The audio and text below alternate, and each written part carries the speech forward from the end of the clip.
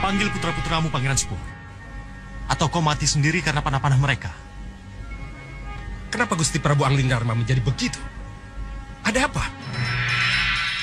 Itu Angling Dharma palsu adikku. Cepat bertindak sebelum terlambat. Gunakan tombakmu adik Kuala. Iya, Kang.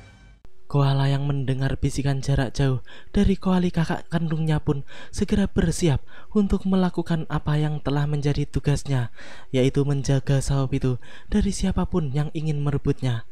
Sementara itu, Prabu Angling Dharma